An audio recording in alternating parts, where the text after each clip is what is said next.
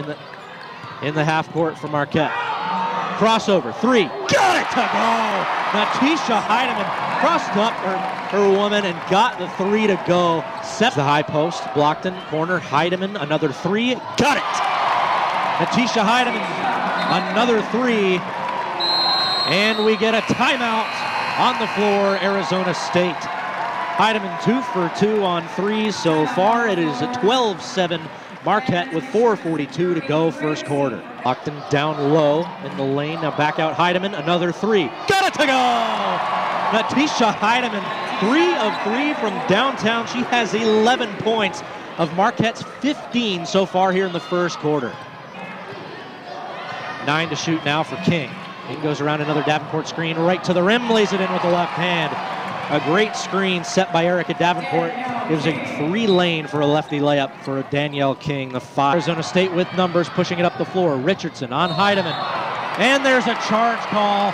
Reili Richardson plowed right into Natisha Hiedeman, and she's going to get called for the offensive foul with 5.42 to play. Down low for Brunner, gets caught under the rim, and it falls to Davenport back in the game.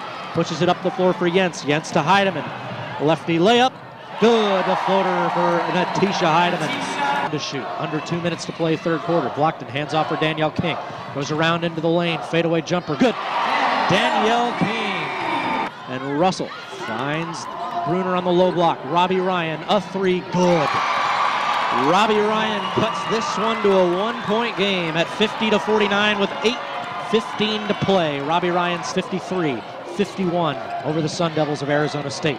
Wilborn with the right hand gets the foul, and it is good. It rolled around the rim and in for Amani Wilborn. Marquette. Marquette pushing it up with Blockton. Blockton finds a corner. Danielle King, a corner three. Good! Danielle King drains a three to put Marquette up 10 at 61 to 51 with four. That huge corner three. Goes around into the lane, finds Hiedeman, left wing, a three. Good! Natisha Hiedeman!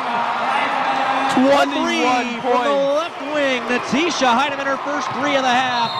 She has 21 for the ball game, and you can hear this crowd at the Al McGuire Center get on their feet.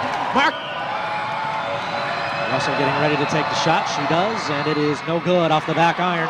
But the rebound comes down to Kianna Ibis, but stolen away by Amani Wilborn.